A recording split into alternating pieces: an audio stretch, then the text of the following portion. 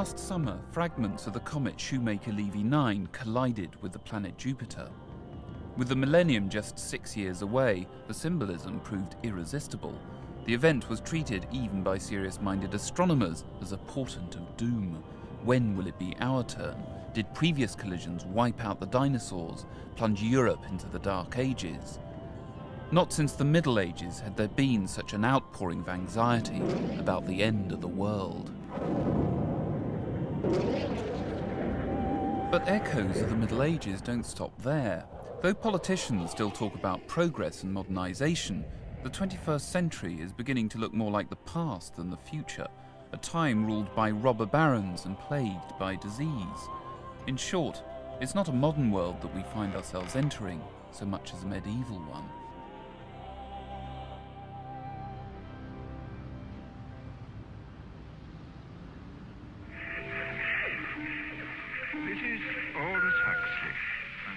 The sounds of the brave new world, of test tube and decanter, of hissing injectors and gurgling blood substitutes. We are inside the London Hatchery and Conditioning Centre, and this is the fertilizing room, an enormous laboratory where the temperature is never allowed to fall below 98.6. The future that we once knew, the future of the great visionaries of the modern age, Aldous Huxley, George Orwell, H.G. Wells, and Fritz Lang, was a glamorous, dangerous affair, a world of great cities, limitless energy, mass production, and technological takeover. Science would point the way, and the all powerful state would take us there, be it to paradise or to pandemonium. In short, gentlemen, the perfect process for manufacturing healthy babies. To defend uh, modernism, they were reacting against a very unsatisfactory past. Uh, they saw cities uh, infested with TB, uh, poverty, disease, misery, smoke, uh, and the idea of getting away from that, cleaning it up, starting again, was uh, enormously, enormously attractive. We can't understand it now. We've forgotten just how bad things were, and that clearing up, starting again, was a tremendously important idea in its uh, most elaborate forms, of course, it took on a kind of totalitarian dimension. Uh, the idea of Metropolis, Fritz Lang, the kind of great uh, machine city in which uh, there's H.G. Wells in the background somewhere, in which little figures uh, flit across the surface of this gigantic uh, structure. Now the old off-the-shelf images of the future are starting to look dated. There never was a brave new world, a big brother or international federation of planets, nor, as is becoming obvious, will there ever be. We don't pop to the shops in hatchback jet planes. The common cold remains uncured. Space is still unconquered. It hasn't happened. Uh, we thought in the 1920s and 1930s that the 1980s and the 1990s were going to be precisely the gleaming chrome high-tech future uh, that uh, we talked about. Now, of course, there are elements of it there, but um, we only need to look around at uh, the crisis in modern architecture and uh, the general nostalgia for the past to see that in fact the future has not come about as people expected. And certainly certainly the desire for the future has not come about as people expected. Where then do we go from here? If the world is not destined to become ever more modern if progress does not progress where does that leave the future Perhaps we can find the future here by looking back rather than forwards to the Middle Ages. It's a strange world but familiar too. There are echoes of the 4th and 5th centuries, of the collapse of the Roman Empire, of anarchy, instability. And there are resonances of the 12th and 13th centuries too, of plague, mysticism, and millennial panic. This is the future that some foresee, a disinterred dark age, a time of confusion and fear, an era they call the New Middle Ages. Il est évident que le mot Nouveau Moyen Âge est une métaphore. Il ne s'agit pas de faire croire que nous revenons au XXIe siècle, au Moyen Âge. Alors pourquoi cette métaphore? Parce qu'en effet, elle accroche l'idée de Moyen Âge à l'idée de désordre durable. Nous avons depuis, finalement depuis le XVIIIe siècle en Europe continentale, euh, vécu dans une vision d'optimisme historique et dans la conviction que la rationalité peu à peu gouvernerait le monde.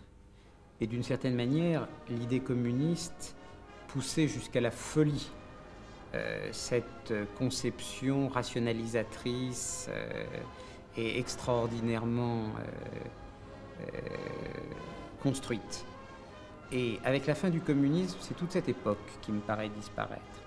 Je crois que l'idée de progrès historique va s'effacer. Et que nous revenons à ce qui est l'ordre de la vie, du monde, c'est-à-dire un désordre durable, un désordre stable et un désordre qui s'auto-alimente lui-même.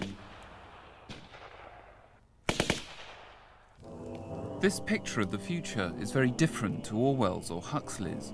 Far from a centralised totalitarian authority, here is a world, or at least Europe, in which there's barely any authority at all.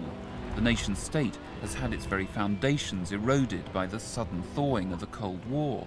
It's lost its political poles, become riven with ethnic rivalries, and overwhelmed by global competition. There are no nation states, and there are. It's like England in the Wars of the Roses. Say that you've got uh, competing leagues of of uh, of parasites within um, each nation. We're getting back to a world which uh, which is 15th century. The big question is, what is the place of Europe in the modern world? Have we got a future? And the second one is, is um, within Europe, what is the role of the nation state? You've got tribalism rather than nationality. You have uh, uh, some sort of shadowy sovereign body which, uh, which doesn't actually have much, much in the way of teeth, but which can nevertheless be respected as the, uh, as the, um, as the lawmaking body. Uh, that there are huge areas which are simply without the law. So, what lies ahead? Far from there being a picture of greater political control, politics itself, at least at the national level, seems to be losing control to sinister new forces, forces beyond the government's reach. We seem to be entering police and political no go areas. As the historian of the New Middle Ages, Alain Minc, warns, we are going beyond the all seeing eye of the state and the long arm of the law. We are about to enter the grey zone.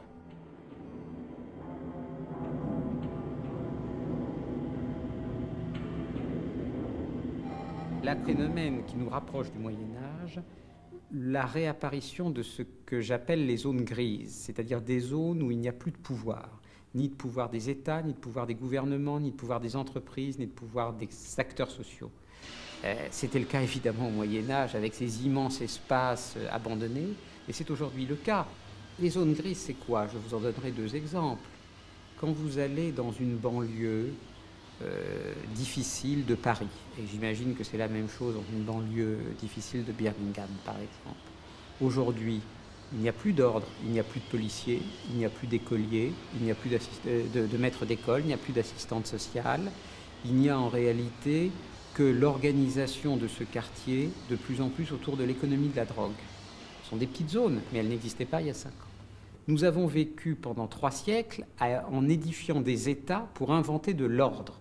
Et aujourd'hui, nous voyons des espaces se développer sans qu'il y ait le moindre ordre et sans le moindre État. The writ of the central state, which after all has been growing since absolutism in the 16th century, has ceased to run in very large parts of any one country. You could say um, so many, uh, so many tower block estates which are simply run by drugs barons. In France, it's much, much worse. If you take Marseilles, for instance, it's, it's uh, it's not a place which can be run anymore by, uh, by, uh, by the central state. You have to come to terms with the local robber baron. And you could argue that the modern economy as it develops is going to be dependent on these robber barons. And you have to come to terms with them, which means that the central state doesn't operate anymore. And you're back in that sense to the Middle Ages.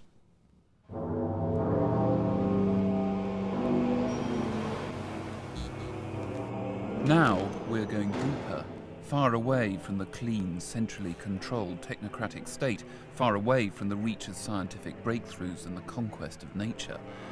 For here, another medieval spectre is becoming apparent, a spectre that haunted Europe for centuries to remind its citizens of their mortality, the Black Death. As smallpox and polio were eradicated, we thought disease was conquered. Now it's returning, not just AIDS, but a whole host of unknown microbes. We live a lot closer to the Middle Ages than we think we do. The Middle Ages was a time when plagues were everywhere and they were a constant fact of life. And indeed, we are living in a plague now. We're living in the AIDS plague. It's in slow motion. But there could very well be other plagues coming. At first, only gays and IV drug users were being killed by AIDS. But now we know every one of us could be devastated by it. But AIDS can be stopped, and you can help stop it. If you have sex, have just one safe partner, or always use condoms. Always. There are large numbers of viruses out there, some of which are unknown and some of which we are beginning to know. And one of them is Ebola. Ebola is a level four monster. There are various classifications of viruses. The, the standard international classification puts Ebola at level four. That's the highest and most dangerous. The AIDS virus is level two. Anthrax is level three. If you want to handle Ebola virus as an experimentalist, you have to be wearing a spacesuit, biological spacesuit with an independent air supply. This is a military sample of Ebola virus. I obtained it from a source.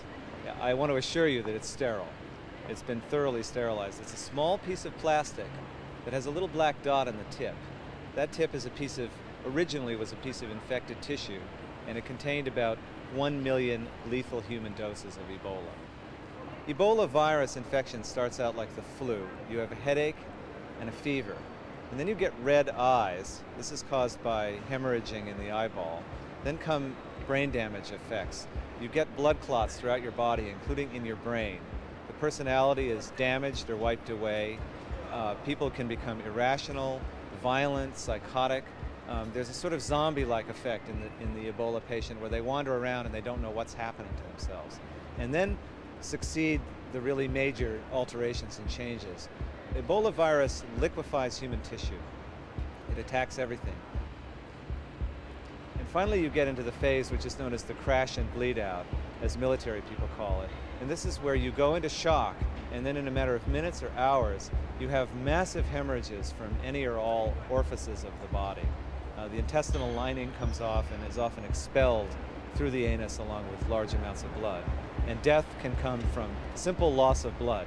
People who have had Ebola virus resemble somebody who's been in a terrible automobile accident. If any of these exotic viruses got loose, they could wreak the kind of havoc the Black Death did in the Middle Ages. But if that's not a terrifying enough prospect, diseases which we thought had been eradicated like TB are now fighting back.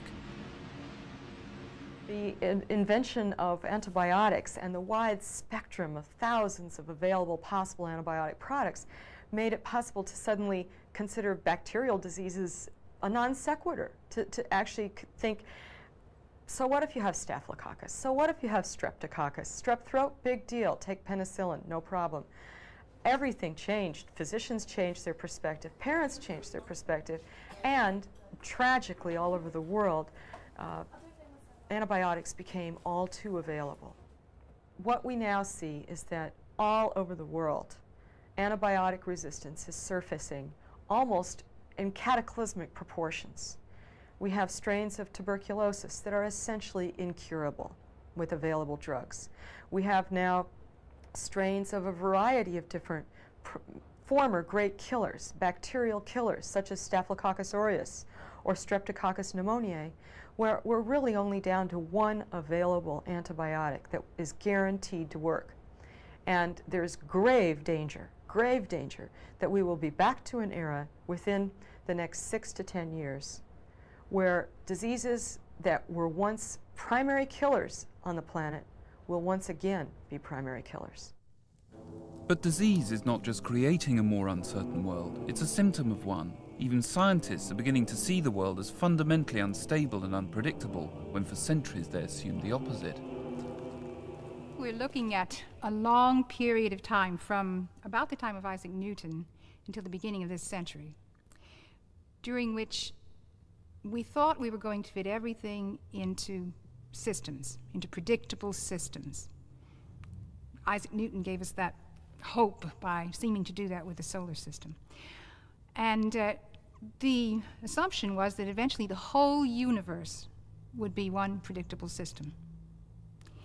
What happened during that time was that we tended to ignore, push to the side, those areas of nature which resisted fitting into predictable systems. Then, about 25 years ago, this is a very recent, recent change, we began to realize, and I suppose it began with studies of, of, uh, of the weather and the way water flows, air turbulence, we began to realize that there's an awful lot of nature that doesn't fit into predictable systems. And we began to, to focus on that. And the extraordinary thing, the startling thing, is to find that predictable, predictability is not the norm, it's the exception.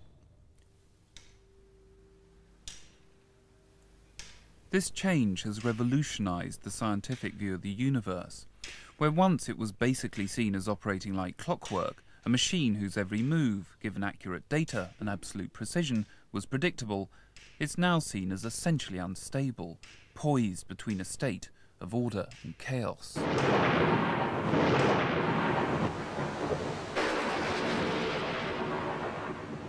According to this view, called chaos theory, the world is so finely balanced that the breeze of a butterfly's wings in an English meadow could set off a tornado in the tropics, that the global economy can be provoked into the wildest fluctuations by the smallest currency movements, and that the slightest change in social behaviour or the smallest mutation in a microbe's genes can turn a harmless infection into a lethal plague. Viruses and infectious diseases tend to operate on cycles of chaos. And it's impossible to predict really what's going to happen in terms of infectious disease. Because, you know, this new view of the world that chaos as a mechanism is very important to the operations of nature now leads us to think that when a virus breaks out, it's not really uh, predictable or even perhaps controllable. There's no way to really know how the system is going to function until you see it functioning. And so, at the end of the modern age, even science is beginning to admit that far from being the conquerors of nature, we are its cowering subjects. But there is another side to this picture of darkness, just as there was another side to the Middle Ages. To the saints and scholars of the medieval world, the hazards of everyday life were just the surface features of a universe filled with pattern and meaning. Behind the noise of material existence, they could hear what they called the music of the spheres, the sound of a harmonious cosmos in which everything has its place. This view found expression in what we now think of as the masterworks of the High Middle Ages, its great cathedrals, luminous imagery, and rich iconography. Essentially, with medieval cosmology, there, there, are two great symbols, two great images um, that dominate. One is of the great chain of being, the idea that everything in society is linked, uh, everything from the lowest peasant right the way through an ascending chain to the king and going right up to the top to uh, God and his angels and so on. That's one particular image. The other essential image is the image of harmony, the idea that everything in society and beyond society um, has an essential harmony. Um, and it goes right the way through to the idea of the harmony of the spheres, the fact that all the planets are perfectly placed and perfectly proportioned, the Earth is the center of the universe, and, and so on. So it's, uh, it's a structure in which everything has a place, everything has a perfection. Contemporary science is beginning to find a similar harmony. There may not be a proof of the music of the spheres, but there are snatches of a tune. For example, chaos theory and the related field called complexity theory are discovering patterns that steer the behavior of chaotic systems like the weather. Patterns that are too deeply embedded to see with the naked eye, but which are starting to become discernible using computers. Unlike the iron laws of nature dreamed up by Isaac Newton, these patterns cannot be used to predict exactly how chaotic systems will behave, but they do hint at some sort of unity behind all the chaos, a still mysterious organizing principle, as it's sometimes called, that is secretly at work. For instance, uh, it's very unexpected to find in areas that we think of certainly as not the same areas of science. The study of how water flows, the study of uh, brain waves, the um, study of how traffic flows, um, that there is some link there. There is a, a, linking principle. And it seems to be this, this organizing principle that takes the chaos and makes this wonderful structure in it. This more holistic view of the universe is not confined to chaos theory. Even hardened physicists, the people who gave us the clockwork universe, are turning cosmological, looking like their medieval forebears for unity in nature, where once they would have seen only fragmentation. Well, during the medieval age, uh, there was, of course, uh, natural philosophers, that is, philosophers who took nature as a unified whole. They weren't called physicists or mathematicians. They would say that they were natural philosophers, the philosophers of nature. In the last 300 years, we've had a fragmentation. That is, we now have biology, physics, chemistry, and within physics, we have high energy physics, solid state physics, and statistical mechanics, astrophysics. So a tremendous fragmentation of the unified picture that existed during the Middle Ages. Now we're coming full circle now. Now we're beginning to have a reunification into a common theme.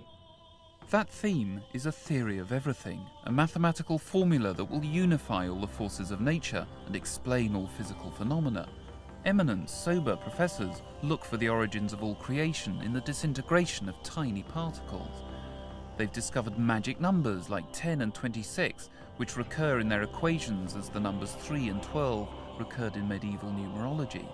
They postulate the existence of a universe of 10 dimensions in which all that we experience ultimately connects in a cosmos that lies hidden behind the curtain of material existence. I believe that if this theory is correct, one day, someone will be clever enough to solve the entire theory, and out of this theory will come protons, neutrons, the lilies of the field, the world, the black holes, the universe itself. This theory is driven by an equation one inch long, and I helped to write that equation. That's one of the things I work on, string field theory, an equation one inch long. We hope to find all the solutions of that equation one inch long, and out of that, we hope to get numbers that correspond to our physical universe. The mass of the proton, the mass of the hydrogen atom, the lilies of the fields, the cosmos should emerge purely from math from this one equation. It's this cosmological side of physics that gives it such a medieval character. Like natural philosophy and the fields that unfolded from it astrology, numerology, alchemy it's beginning to look for the universal where before it would have looked for the particular, for the ideal behind the real. Medieval people saw particular things as part of some universal and only gained meaning when it was part of a universal. To explain anything, they uh, elevated it to a, a, context of its most general and universal character. Uh, they didn't uh, tend to give uh, much value, legitimacy, significance, or meaning to, to the particular, but the particular only really acquired legitimacy and meaning when it was seen uh, in the most widespread, universal, and, and generalized context. It's a visual culture. It's a culture where people are concerned with seeing meaning in everything and seeing symbols in the mundane, seeing a relationship between everyday matter and spiritual reality. Spiritual reality represented, obviously, uh, by God and by the Christian religion. The big difference, of course, between medieval theology and modern physics is that the latter must still find its ultimate vindication from experimentation. This is why scientists need huge machines to rip atoms to pieces and inspect their entrails. But there's a twist to this tale. The theories have become so elaborate, so vast in their scope, so microscopic in their detail that the machines needed to test them are becoming too expensive to build. The Dallas-based superconducting super collider was to be just such a machine until, to the dismay of most physicists, the US Congress decided to cancel it. We're entering a dangerous period, a period quite similar to the Middle Ages when there were no checks on monks uh, writing musical scores for the music of the spheres and the harmony of the universe. So we theoretical physicists, for at least 30 years now into the future, will be creating perfect universes, perhaps universes that don't even exist. The only check on us will be mathematical consistency, perfection, harmony. That will be the only check on theoretical physicists because of the cancellation of that huge atom smasher outside Dallas, Texas. The music of the spheres, the harmony of the universe. It's a world in which order is not imposed but spontaneously emerges. Here everything is filled with unexpected meanings, surprising connections. For example, what's this? Internet.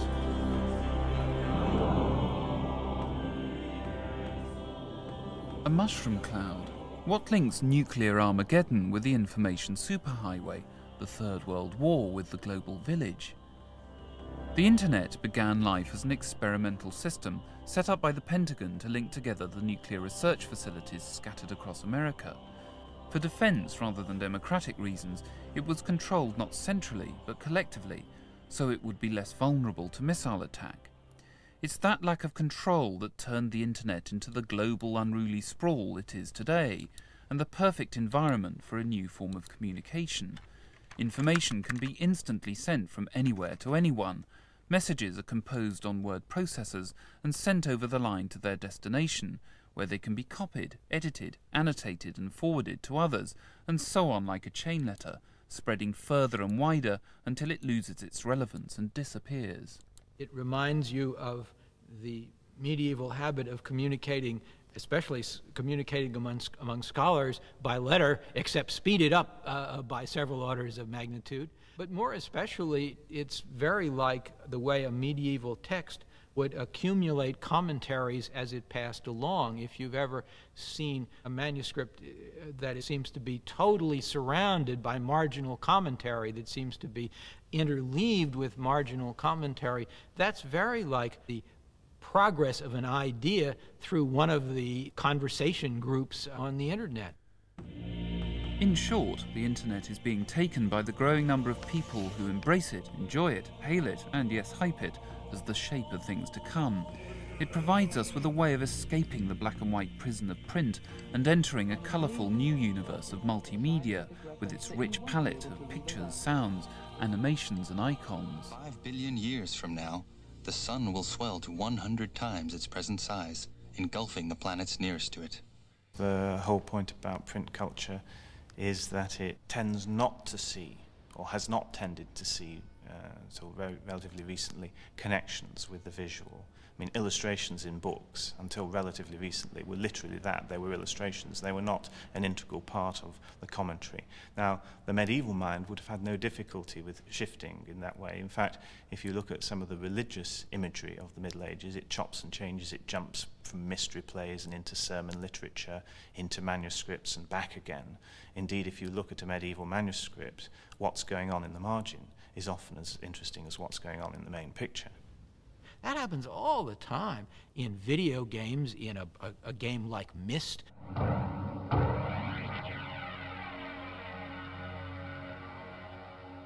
where you're forever taking alphabetic signals and then chain, then finding out that the secret in the innermost sanctum sanctorum is a book, and you try to figure out open the book and so on, and, and, and, and get that, that way. Um, if you add to that what, for a medieval reader, was so assumed that was never talked about much, which is the, the, the voice, the, the embodied voice, you get something very like a, a modern, a multimedia book.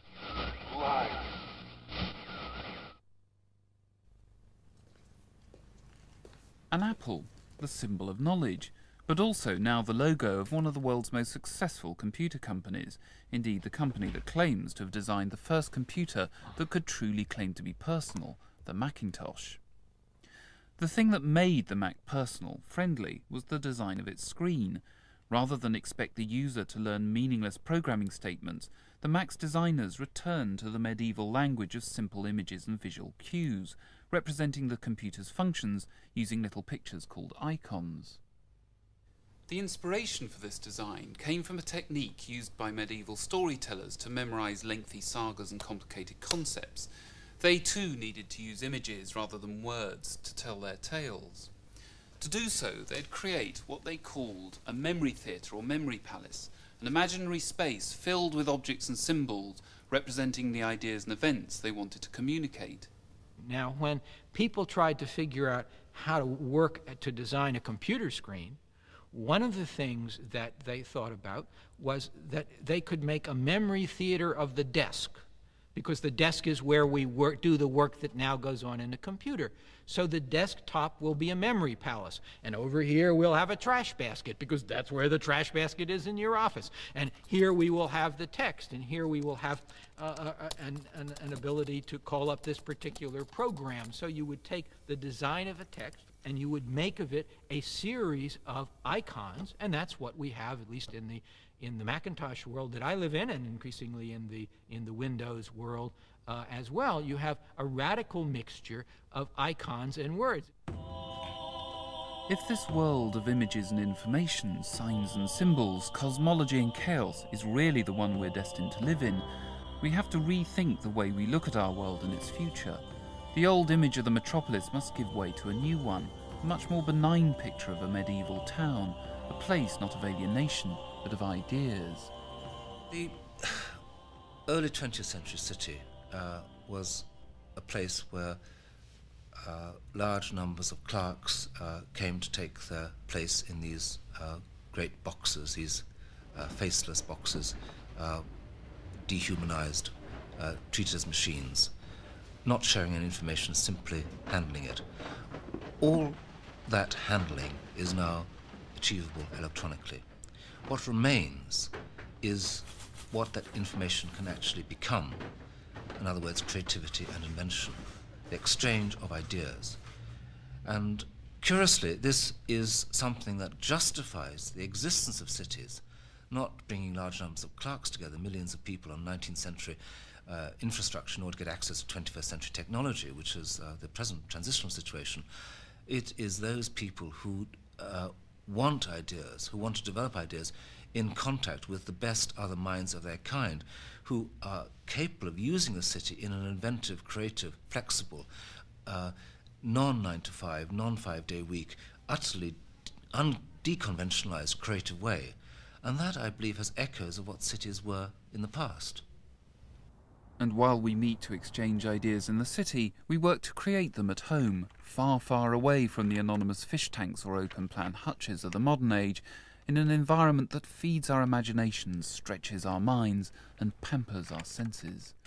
An image of that is in that uh, uh, wonderful picture of St. Jerome, in which the intellectual St. Jerome sits in a study uh, within a great uh, framework, architectural framework, punctured with visions of this wonderful landscape outside. And uh, that saint is in control of his own destiny. He has his own uh, books, information, data around him and his own pets, his own pieces, his own identity. We've been here before. In the 19th century, too, there was a yearning to recover the Gothic world of cathedrals and chivalry. The legacy of that yearning is all around us, in the grandeur of Pugin's designs for the Houses of Parliament, and in Victorian interior decoration. We have this vision of the Victorians as being uh, great optimists, great planners, great builders, great creators. But at the heart of all of that, there was a, there was a fundamental fear, a sort, of, a sort of nightmare in the middle of the night, that the Industrial Revolution and all its works were destroying social structures. Capitalism was destroying all that had been good and fine and noble about previous cultures. And that's why the Victorians had such a love affair with the Middle Ages, because it was an attempt to get back to a sense of community, uh, a sense of uh, order. This time it's different. For both the doomsayers of the new Dark Ages and the prophets of a new medievalism, the Middle Ages represent a way of confronting the future. The Victorians, in contrast, were looking to the pre industrial past as a way of escaping it. I'm not fond of, of, of romanticizing the Middle Ages in the 19th century William Morris age either. I don't want to go back to the bathless age of, uh, uh, as Mark Twain called it, where uh, I, for example, would be blind and also have no teeth. Um, so we're not talking about that kind of naive romanticism. Um, I think there are ways in which, if we are returning to some patterns of medieval experience, it's not a bad idea. I think the rich signal and the new kind of reading and literacy is kind of interesting. I think it's up for grabs. There will be the Lord giveth and the Lord taketh away. I think the potential opportunities are that you have a society where people are more visually aware and where they see connections more. And that, I think, is one of the ways in which we may be able to square in the 21st century the circle between a society where knowledge becomes more and more specialist and therefore less accessible to the majority of people, and at the same time, uh, the need to communicate that knowledge to a broad selection of people. If you're dealing in a culture which is used to jumping around in media and used to making connections, used to making big ideas, as the late Middle Ages was, and as possibly the new Middle Ages, maybe, then I think it's going to be much easier to make those connections without worrying about everything being put in separate compartments and nobody really understanding the whole. I think the power of information to make people free, uh, to be able to choose how they conduct their lives, what kind of timetable they have, whom they talk to, what ideas they deal with, what creativity they should have, becomes possible. Now, maybe there's going to be a physical correlate, correlate of that uh, freedom uh, which information technology brings, and maybe there will be echoes in that freedom of the kind of sweetness and beauty and order of the medieval city. Whatever vision we might have of the next millennium as a dark, dangerous crypt, or a dynamic, colourful memory palace, the future looks uncertain. Perhaps the dangers of the new dark ages means that we have no future at all. But perhaps the promise of a new medievalism means that for the first time since the dawn of the modern age, we have a destiny instead.